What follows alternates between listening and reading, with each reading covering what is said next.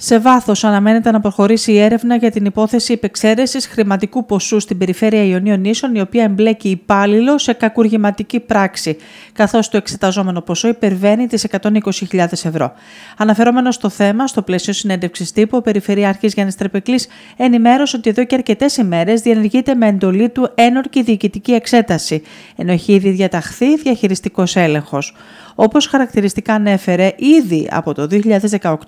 στην έκθεσή του ορκωτός λογιστής παρατηρούσε ότι εντοπίστηκαν και αξιολογήθηκαν οι κίνδυνοι ουσιοδών σφαλμάτων στις οικονομικές καταστάσεις που οφείλονταν είτε σε απάτη είτε σε λάθος,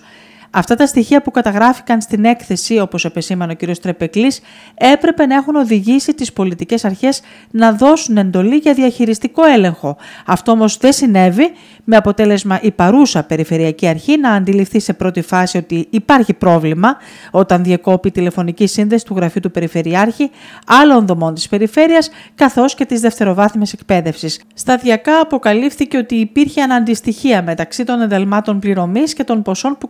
κατατίθενται για πληρωμή των λογαριασμών ΔΕΚΟ της περιφέρειας. Επιπρόσθετα, παρότι ο νόμος επέβαλε από το 2021 να υπάρχει εσωτερικός έλεγχος των οικονομικών της περιφέρειας, αυτό ουδέποτε ανετέθη. Όπως σημείωσε ο Περιφερειάρχης, ήδη έχει ολοκληρωθεί η διαδικασία από την παρούσα Περιφερειακή Αρχή και έχει συμβασιοποιηθεί η ανάθεση προκειμένου να υπάρχει εσωτερικός ελεκτής στα οικονομικά της περιφέρειας. Για το ζήτημα της επεξαίρεσης, ο κύριος Τρεπεκλής έκανε γνωστό ότι όλα τα στοιχεία της έρευνας τίθενται υπόψη και του εισαγγελέα και ότι η Περιφερειακή Αρχή αναζητά τις ευθύνες όπου και αν υπάρχουν αυτές. Διαπιστώσαμε λοιπόν σε προσωρινή και εμπειρική προσέγγιση ότι αρκετοί λογαριασμοί των ΔΕΚΟ είχαν προβλήματα όσον αφορά να ταυτίζεται το ένταλμα με την ανάλογη πληρωμή. Στην έρευνα αυτά, στη συνέχεια αυτή και η διεύθυνση, ο επικεφαλής της Διεύθυνσης Οικονομικών της ε, Περιφέρειας σε συνεργασία μαζί του έστειλε επιστολή στην τράπεζα να ελέγξω το συγκεκριμένο λογαριασμό από όπου ε, γίνονταν οι πληρωμές. Διαπιστώθη λοιπόν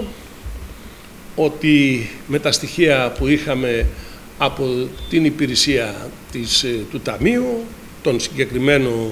υπάλληλο, ότι υπήρχε και πλαστογραφία και δεν ταυτίζονταν οι καταστάσεις που είχα από την τράπεζα, η κίνηση του λογαριασμού, ε, με τα στοιχεία τα οποία παρέδωσε εκείνος στους υπηρεσιακούς παράγοντες και εκείνη σε εμένα. Αμέσως λοιπόν διέταξα ΕΔΕ, όπου στην πρώτη προσέγγιση αποδεικνύεται ότι στον έναν και μόνο λογαριασμό, χωρίς να ερευνήσουμε τώρα, συνεχίζουμε στην έρευνα και των άλλων ε,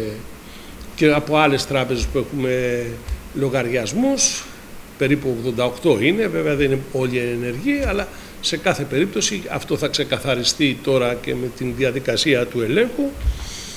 για την ε, πορεία τους και αν πρέπει να υπάρχει όλο αυτό το νούμερο και διαπιστώθηκε λοιπόν μια σημαντική υπεξαίρεση που αγγίζει το βαθμό που είναι κακούργημα.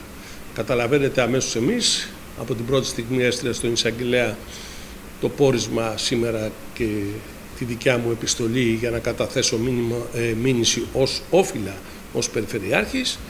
και βεβαίως έχω ζητήσει πλέον από τον Ορκωτό να γίνει μεγάλο, ε, μεγάλο δείγμα έρευνας και βεβαίως να ερευνηθούν και τυχόν ευθύνες όπου υπάρχουν, διότι ε, οι καταστάσεις αυτές, οι οποίοι χαρακτηρίστηκαν ε, από τον Ορκωτό ως μία έκφραση γνώμης, αυτό σημαίνει ότι οι οικονομικές καταστάσεις ήταν στο βαθμό σκουπιδιών, όπως θα λέγαμε στο χρηματιστήριο. Και βεβαίως ο Ορκωτός στην έκθεσή του διαπιστώνει από το 18, το οποίο κανείς δεν το παρατήρησε, εμείς βέβαια μετά από αυτό που συνέβη, όπως σας είπα, με τη διακοπή της τηλεφωνικής μας, ε, των τηλεφώνων της περιφέρειας, ήδη ο Ορκωτός εκείνη την εποχή αναφέρει, θα σας πω μόνο, και στην έκθεσή του, αλλά και στην τοποθέτησή του στο Περιφερειακό Συμβούλιο, ότι εντοπίστηκαν και αξιολογήθηκαν οι κίνδυνοι ουσιοδών σφαλμάτων στις οικονομικές καταστάσεις που οφείλονταν είτε σε απάτη είτε σε λάθος. Από την ώρα που αυτό διαπιστώνεται και στην έκθεσή του, του ανεξάρτητου ελεκτικού μηχανισμού περί ελέγχου των οικονομικών καταστάσεων, θα έπρεπε στη συνέχεια να διαταχθεί διαχειριστικός έλεγχος. Τι σημαίνει διαχειριστικός έλεγχος, δεν είναι πάντοτε που στη συγκεκριμένη περίπτωση έχουμε και την υπεξαίρεση, αλλά δεν σημαίνει πάντοτε ότι ψάχνει να βρει απάτη και γίνει απάτη. Έχουν γίνει βαριά σφάλματα.